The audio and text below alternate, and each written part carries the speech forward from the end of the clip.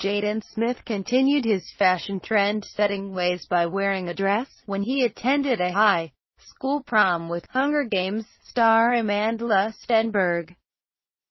Stenberg played Rue in the successful film franchise. The actress shared on her Instagram page a photo of herself in a shimmering statement-making bronze dress. But it was her companion who stole the show. Smith donned a long black and white dress with black pants underneath.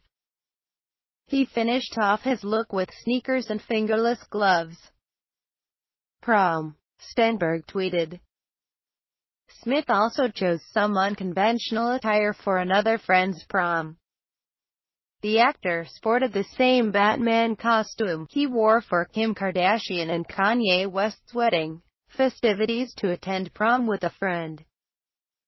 For this special evening, Smith donned a superhero suit that was fully equipped with pack of abs and a cape, but for photos added a tie and suit jacket.